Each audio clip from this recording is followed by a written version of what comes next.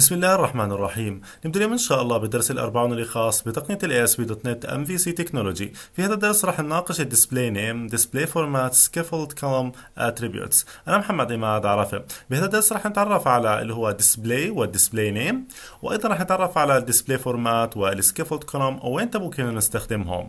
بالبداية راح أقوم بإنشاء هذا التيبل وهو TBL راح يكون اسمه Employee راح يحمل معلومات الموظف. فخلينا نروح الآن مباشرة على Microsoft SQL Server Management Studio لاحظت انه الآن قمت بإنشاء table اسمه tbl employee بيحتوي على ID full name gender age hire date email address salary و personal website okay طبعا هذا ال table قمت بانشائه وقمت بإضافة اللي هو two records إلى هذا ال table زي ما إحنا فعليا شايفين. الآن لو رحت مباشرة عملت select star from tbl employee تلاحظ إنه قام بجلب هاي المعلومات عندي واللي هي مطابقة تماما ل عمليا اللي هو ال information الموجوده عندي داخل هاي ال slide okay الآن أنا بدي بكل بساطة إنه أقوم بإنشاء اللي هو application بحيث إنه يقوم بعرض معلومات الموظف بالاعتماد على رقمه. حتى نعمل هذا الأمر راح أقوم الآن باللي هو الذهاب إلى ال Visual Studio. راح تلاحظوا الآن في عندي هون اللي هو empty MVC application. وهذا طبعا ال empty MVC application ما بيحتوي طبعا على أي controller ولا على موديل ولا على views زي ما إحنا شايفين. الان بالبداية راح أقوم بإنشاء عندي هنا موديل راح أعمل right click add new item وبعد هيك راح أختار عندي data ومباشرة راح أختار عندي هنا اللي هو ADO.NET Entity Data Model. بعد هيك راح أجي أسميه Sample Data Model. Okay؟ وطبعا راح يكون عندي هون الامتداد اللي هو عبارة عن EDMX بعد هيك رح نعمل add. رح نختار عندي entity framework designer from database. بعد هيك مباشرة رح أقوم بإنشاء اتصال لعمل اتصال مع قاعدة البيانات. لاحظت إنه SQL Server هي already موجودة عندي على نفس ال machine اللي ببني فيه ال application فبالتالي رح أقوم الآن بوضع اللي هو dot من أجل إني أجيب اسم الجهاز. بعد هيك رح أقوم بعمل اتصال مع ال database اللي اسمها sample. رح أعمل test connection رح تلاحظوا قام بعمل اللي هو اتصال زي ما إحنا فعليا شايفين. بعد هيك رح نضغط على okay. وبعد هيك رح أقوم عندي هنا بتسمية هذا ال connection ب خلينا نحكي sample um, db context. زي ما إحنا شايفين. بعد هيك مباشرة رح أقوم بعمل ورح أختار entity framework 6.x وبعد هيك رح نعمل next الآن رح أختار ال table اللي قمت بانشائه اللي هو عبارة عن tbl employee. وبعد هيك مباشرة رح أقوم بتسمية ال model namespace إلى models. نعمل finish. الآن رح أقوم الآن ببناء ال entity وفعليا رح يكون عندي one entity اللي هي عبارة عن tbl employee.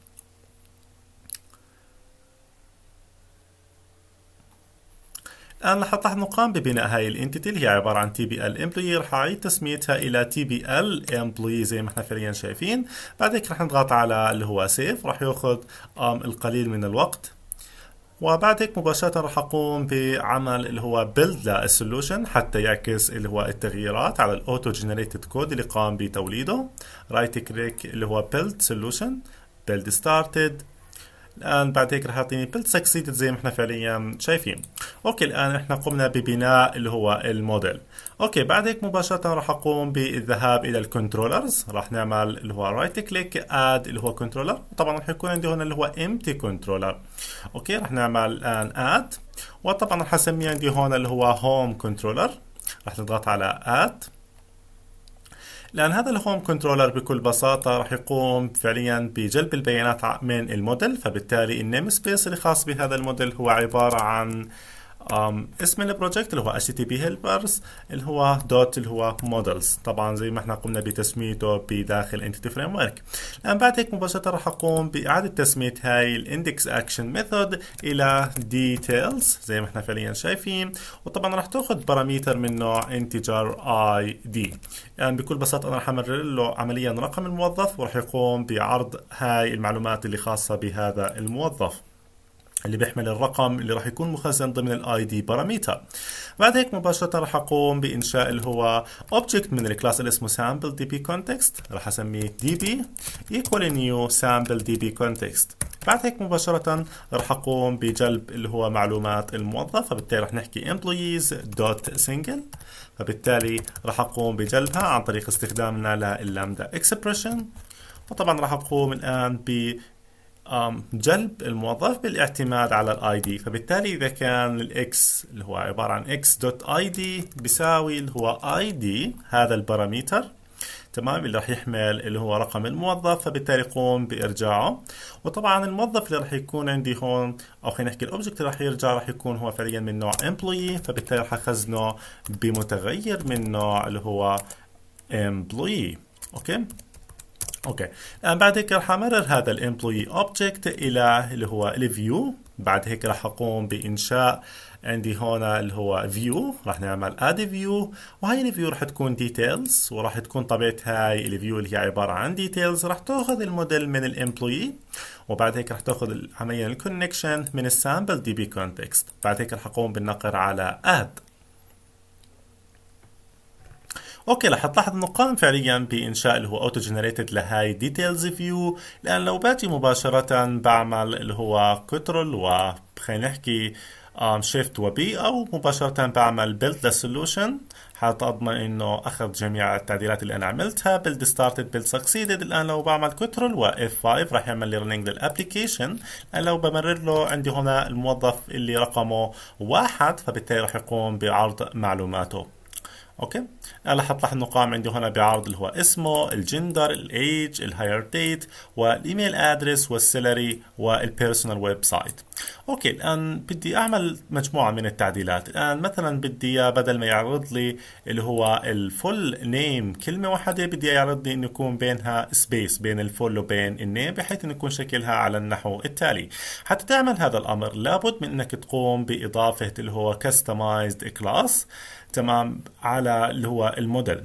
الان لو رحت أنت مباشرة على ال Visual Studio وبالتحديد رحت على الموديل عملت right click open containing folder رح تلاحظ إنه في عندي هنا اللي هو employee cs اللي هو class okay الان لو رحت مباشرة قمت بفتحه رح تلاحظ إنه ال auto generated code تمام عن طريق ال Entity Framework قام بإنشاء هذا ال class اللي هو عبارة عن employee class وهو partial class الان أنت لو عدلت على هذا ال class فبالتالي هو أمر غير محبذ لأنه إذا مرة ثانية بترجع تعمل auto generate هذا ال Entity Framework رح تخسر عمليا التعديلات اللي أنت عملتها. فبالتالي إذا بدي التعديلات اللي أنا بدي أعملها بدي إياها تكون بشكل دائم فبالتالي لابد إنك تقوم بإنشاء اللي هو custom class حتى تنشئ custom class رح أروح مباشرة عندي هون على الموديل نعمل right click add class وخلينا نيجي نسمي الاسم اللي أنت بدك إياه. خلينا نسميه مثلا custom employee على سبيل المثال. راح نعمل اللي هو add okay. بعد هيك مباشرة راح يكون عندي هذا ال custom employee هو عبارة عن partial class. وراح أقوم أيضا عندي هنا بإنشاء another class. وهذا ال class اللي راح أقوم بانشائه راح يكون فعليا بيحمل اللي هو ال meta data okay. فبالتالي بإمكانك إنك تسميه الاسم اللي أنت بدك إياه. فخلينا نقوم بانشائه public class. راح أسميه عندي هنا employee meta data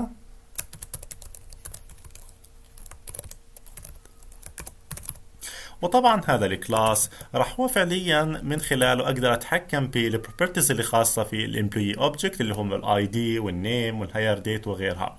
okay؟ الآن هذا ال employee meta data لابد إنه يتم ربطه بال custom employee يعني إحنا بنعدل على اللي هو على على employee type. فبالتالي لابد إنه هذا ال class يكون اسمه employee. okay لكن عندي هنا ك physical اسمه custom employee. okay الآن حتى تقوم أنت بربط هذا ال class مع هذا ال class لابد أنه يتم ربطها عن طريق اللي هي attribute اللي هي عبارة عن meta data type وهي ال attribute هي بكل بساطة موجودة ضمن اللي هو ال namespace اللي هو عبارة عن system.componentModel.data annotations. بعد هيك راح أقوم باستخدام هاي ال attribute attribute اللي هي اسمها عندي هون اللي هو meta data type okay بعد هيك مباشرة ال type اللي أنا راح أتعامل معاه. هو فعليا employee meta data okay؟ الآن تم ربط هذا ال class مع هذا ال meta data الآن بعد هيك مباشرة بإمكانك أنك تعمل التعديل اللي بدك إياه. الآن بدي أقوم بعرض ال full name بحيث أنه يكون كل واحدة إلها خلينا نحكي بينها space بمعنى أنه راح أقوم بأخذ اللي هو ال full name راح نعمل منها copy زي ما إحنا شايفين. ومباشرة راح أعمل عندي هون اللي هو paste الآن حتى تتحكم ب شكلها هون. لابد أنك تستخدم another عندي attribute. هاي ال attribute اسمها display attribute. okay؟ فبالتالي هاي أول attribute رح نستخدمها اسمها display attribute. رح تلاحظ إنه إلها property اسمها name. فبالتالي رح أروح عندي هون. ومباشرة رح نستخدم عندي هون اللي هو display. تمام؟ attribute. زي ما إحنا فعليا شايفين. طبعا عندي هون display attribute رح نمرر لها. عندي هون اللي هو name equal اللي هو full name. وبعد هيك مباشرة رح أقوم بعمل save وخلينا نرجع نعمل build the solution build started build succeeded. الآن لو برجع مرة ثانية عندي هون وبضغط على control و F5 الآن لابد إنه يعمل space ما بين ال full وما بين اللي هو ال name الآن راح تلاحظ إنه عماله بيعمل rendering الآن راح تلاحظ إنه مباشرة عمل space ما بين ال full وما بين اللي هو ال name. الآن راح تلاحظ إنه أيضا بدي أعمل مثلا another changes um, على هاي اللي هي ال view مثلا بدي طبعا رح تلاحظ إنه إحنا استخدمنا بالبدايه display attribute. طبعا بإمكانك إنك ال attribute هي optional زي ما تعلمنا بأساسيات ال C sharp فبالتالي بإمكانك إنك تكتب فقط اللي هو display وطبعا رح يعطيك نفس اللي هو الأداء. أو بإمكانك إنك تستخدم another attribute اللي هي عبارة عن display name فبالتالي الآن لو رجعت هنا واستخدمت بدل ال display display فبالتالي هذا أمر جائز. أو بإمكانك إنك تستخدم اللي هو display name. وطبعا ال display name هي موجودة ضمن اللي هو ال namespace اللي هو system.component model. فبالتالي لو أجيت أخذتها copy ومباشرة عملت عندي هنا paste راح تلاحظ إنه ما في داعي أصبح الآن اللي هو ال name أوكي؟ طبعا الآن لو بعمل build راح يعطيني نفس اللي هو الاداء build started. Build succeeded. الآن لو برجع مرة ثانية عندي هون بضغط على control و F5 ما راح يتغير معي أي شيء. طبعا راح تلاحظ إنه راح يعطيني نفس الأداء اللي هو full name. أوكي. الآن لو بدي أتحكم باللي هو ال date عندي هون ال hire date بدي مثلا أقوم بعرض فقط ال date. حتى تعمل هذا الأمر لابد أنك تستخدم عندي another attribute اسمها display format. فبالتالي خلينا نروح مباشرة على ال Visual Studio. الآن أنا بدي أعدل مباشرة على ال hire date فبالتالي راح أنسخ عندي هون ال hire date أوكي؟ الآن رح تلاحظ إنه أنا عندي هون اللي هو هذا اللي هو ال hire date رح نعملها عندي هون copy مباشرة رح أعمل عندي الان paste طبعا عندي هون ال hire date هي من نوع date time فبالتالي ال type اللي أنا بتعامل معاه هو فعليا date time فبالتالي رح نعمل الان copy paste طبعا هون في عندي space أوكي اذا هذا هو ال type اللي بتعامل معاه. أنا حتى تتحكم فيه وتظهر لي فقط عندي اللي هو ال date بدون ال time لابد إنك تستخدم عندي هنا another attribute اسمها display format. بالتالي خلينا نستخدمها. وطبعا ضمن ال display format أنا راح أستخدم عندي هون اللي هو data format string. وطبعا راح أستخدم عندي هون بدي أقوم بإظهار فقط اللي هو ال date فبالتالي راح أقوم بكتابة اللي هو ال d أوكي بعد هيك خلينا نرجع نعمل space وأيضا عندي هون خلينا نرجع الآن نعمل build the solution. build started.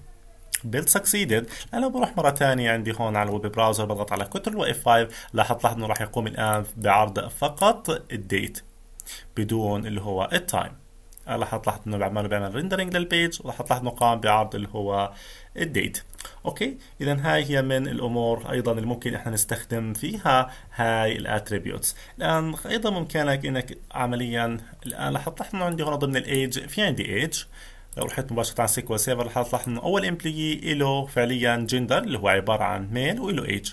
لو رحت على ال employee الثاني رح تلاحظ إنه فعليا ما له جندر وما له وعمليا له إيج.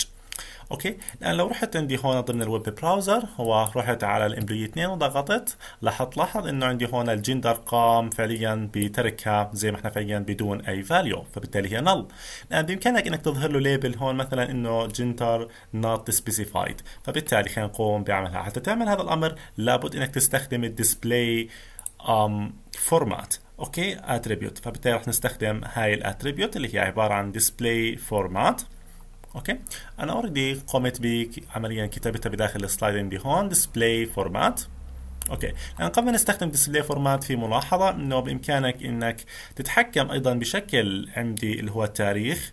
فمثلا ممكنك عندي هون تقوم بعرض الإشي اللي أنت بدك إياه. مثلا هون بامكانك إنك تعرض ال day. على هذا الشكل. مثلا بدي أعرض ال month مثلا بدي أعرض عندي هنا اللي هو ال year على سبيل المثال. فهنا day month year. أنا لو جيت مرة ثانية عملت عندك هنا build build started. build succeeded. الآن لو نرجع مرة ثانية على ال web browser ونضغط على control و F5 رح تلاحظ إنه راح يتم تغييرها إلى day month year. وطبعا رح تكون 2 5 2009 زي ما إحنا فعليا شايفين. أوكي؟ فبالتالي بامكانك إنك تتحكم فيها بال format اللي أنت بدك اياه طبعا إذا كان عندي هنا طبعا بامكانك إنك تضيف ال time ال time هنا ال H من hour وال M من minute وال S من اللي هو ال second طبعا إذا كانت capital فبالتالي رح يقوم بعرضها بنظام ال 24 ساعة. إذا كانت السمول فبالتالي رح يقوم بعرضها على نظام ال 12 ساعة.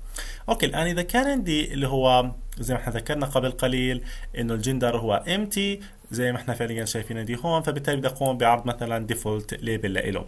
حتى نعرض هذا الأمر لابد إنه نستخدم display format وخلينا نستخدمها لعمليا عندي هون الآن راح أقوم باستخدام عندي عندي هون الجندر فبالتالي راح أروح على الجندر عندي هون نعمل منها copy ومباشرة راح أقوم عندي بإضافتها عندي هون.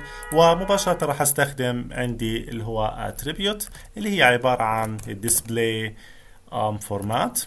ومباشرة راح نستخدم عندي هون اللي هو null display text. ومباشرة راح أقوم بالتحديد اللي هو ال text اللي أنا بدي إياه اللي هو عبارة عن gender not مثلا um, specified على سبيل المثال. أوكي. بعد هيك مباشرة راح أقوم بعمل save وراح أعمل عندي هون build started. رح تلاحظ إنه هون عماله بيعمل build started build succeeded. الآن لو برجع مرة ثانية على ال web browser وبضغط على control و F5 رح تلاحظ إنه ضمن الجندر رح يقوم بإظهار اللي هو ال label اللي هو gender not specified زي ما إحنا فعليا شايفين. أوكي اذا هاي هي من النقاط المهمة جدا. الآن أنا مثلا عندي هون عمالي بظهر اللي هو ال salary فبالتالي هاي من الأمور أو خلينا نحكي من خلينا نحكي من المعلومات المهمة التي لابد إنه نراعيها. ففي بعض مثلا ال views ما بدي أظهرها في بعض ال views بدي أظهرها. فبالتالي كيف بإمكانك إنك تقوم بإخفائها؟ حتى تخفيها لابد إنك تستخدم عندي هون another attribute. اللي هي عبارة عن scaffold column. أوكي فبالتالي خلينا نقوم الآن بإخفاء اللي هو ال salary الآن حتى نقوم بإخفاء ال salary بكل بساطة راح نروح الآن عندي هون ونستخدم عندي هنا اللي هو ال salary وال salary طبعا عندي هنا عندي هنا هو عبارة عن nullable فبالتالي ال data type اللي بتعامل معه هو عبارة عن integer وهو nullable.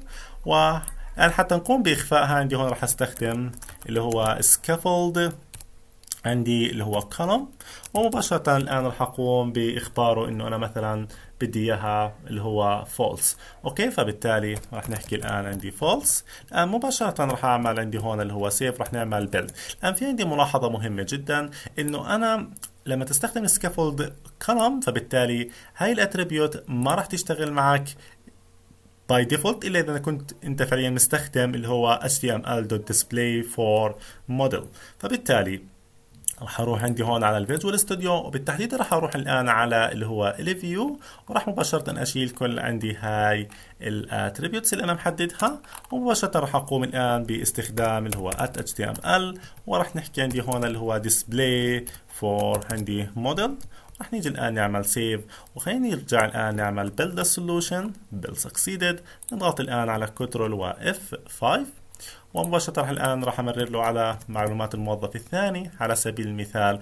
وراح تلاحظ إنه راح يقوم بإظهار عمليا ال ID لأن أنا فعليا ما قمت بإخفائه. وأيضا راح يقوم عندي بإخفاء اللي هو ال salary. راح تلاحظ إنه ال salary أصبح غير موجود. أوكي؟ الان لو بدك تخفي ال ID بكل بساطة بإمكانك إنك تروح عندي هون وطبعا تحكي له إنه بدي أقوم بإخفاء اللي هو ال ID. أوكي؟ راح أروح مرة ثانية على ال custom employee وراح نروح عندي مباشرة هون ونستخدم ال scaffold column زي ما إحنا شايفين.